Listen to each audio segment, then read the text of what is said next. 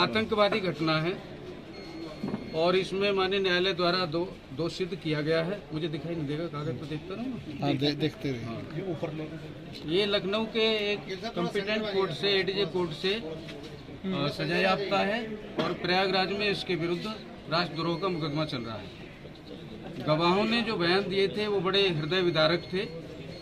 हृदय को हिला देने वाले, कपा देने वाले थे।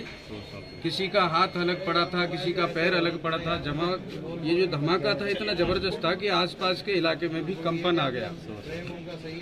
इस घटना में एक सवा साल की बच्ची की भी जान गई थी। संकट मोचक मंदिर एक भीड़भाड़ वाला स्थान है। देश विदेश से बहुत सारे तीर्थयात्री यहाँ आते हैं। और मंदिर में हर समय हज़ारों की तादाद में लोग मौजूद रहते हैं। इस मंदिर की एक विशेषता और है कि यहाँ अंशुज विवाह होते हैं, प्रतिदिन होते हैं, इसलिए नव दंपति विवाहित और उनके परिवारों के लोग भी आते हैं, इसलिए वहाँ पर प्रतिदिन शाम के समय काफ़ी भीड़ रहती है। ये सीरियल बम कांड था। एक ही समय में एक साथ दो स्थानों पर बम विस्फोट हुआ और एक स्थान पर बिना विस्फोट हुआ बम बरामद हुआ था।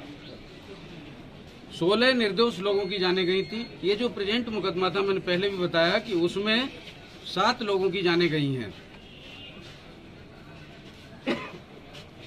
छिहत्तर लोग अपंग हुए हैं, घायल हुए हैं। और घायलों के परिवारों ने अपने आत्मीयजनों को खोया, उनकी पीड़ा है, उनका दर्द है। जम्मू फाटक पर जो जीवित अवस्था में बम मिला था, वह इतना विनाशकारी था कि यदि फट जाता तो 200 मीटर के क्षेत्र में सब कुछ नष्ट कर देता। सभी बम विस्फोटों के लिए ऐसे चिन्हित ऐसे स्थान चिन्हित किए गए। दशाश्वमेध घाट वाला मामला है। इसमें बम ट्रांसप्लांट बम प्लांट किया गया था। जम्मू फाटक हाँ जम्मू फाटक के सामने रेलिंग के पास लगाया गया था इस बम को और ये डिफ्यूज कर दिया गया था, बरामद हुआ था। दंड संहिता के अंतर्गत मृत्युदंड और पचास हज़ार रूपए अर्थदंड से दंडित किया गया है। और तब तक फांसी पर लटकाया जाएगा जब तक कि उसकी मृत्यु ना हो जाए।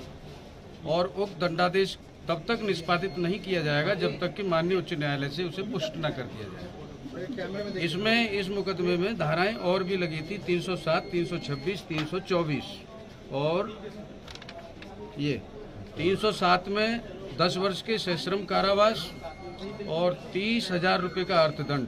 अर्थदंड न अदा करने पर एक वर्ष के सश्रम कारावास की सजा है।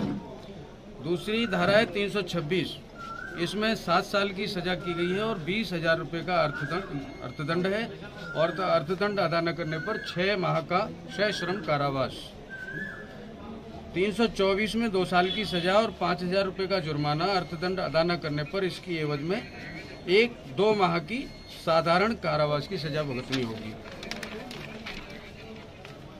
303 विस्फोटक पदार्थ अधिनियम के अंतर्गत सश्रम आजीवन कारावास पचास हज़ार रूपए का अर्थदंड और अर्थदंड अदा न करने पर दो साल की कजा सश्रम सजा है। और चार विस्फोटक पदार्थ के अं- अधिनियम के अंतर्गत दस वर्ष की सजा और तीस हज़ार रूपए अर्थदंड से दंडित किया गया है।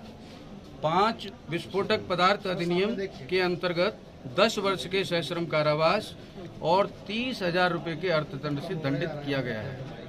अर्थदंड अदा न करने पर एक साल का सश्रम कारावास। इसी के साथ इसमें पंद्रह सोलह विधि विरुद्ध क्रियाकलाप अधिनियम की धाराएँ लगी थी तो उसमें भी सश्रम आजीवन कारावास, सोलह विधि विरुद्ध क्रियाकलाप अधिनियम के अंतर्गत सश्रम आजीवन कारावास और पचास हज़ार रूपए के अर्थदंड से दंडित किया गया है। और अर्थदंड अदा न करने पर दो साल के सश्रम कारावास की सजा। ये सारे जितनी दो सिद्धि की सजाएँ हैं ये सब एक एक साथ चलेंगी। ठीक है? इसके अलावा वकील साहब संकट मोचन मामले में ये फैसला ये संकट मोचक मामले में संकट मोचन मंदिर के मामले में फैसला आया है और इसमें सात लोग मारे गए थे। 26 लोग घायल हुए थे। घायलों में कुछ अपंग भी हो गए थे। सैतालीस गवाह अभियोजन की ओर से पेश किए गए और तीन बचाव साक्षी पेश किए गए थे। दूसरा जो विधि विरुद्ध क्रियाकलाप अधिनियम का मामला था, उसमें भी यही गवाह थे, छब्बीस सैतालीस गवाह और तीन बचाव साक्षी। ठीक है? पाँच विस्फोटक पदार्थ अधिनियम के अंतर्गत सश्रम कारावास, तीस वर्ष, तीस हज़ार रूपए जुर्माना। दो सिद्धि बलीउल्ला को इसमें दूसरा मुकदमा था सोलह क्रिया विधिविरुद्ध क्रियाकलाप अधिनियम। इसके अंतर्गत पचास हज़ार रूपए का आर्थिक दंड और सश्रम आजीवन कारावास की सजा दी गई है।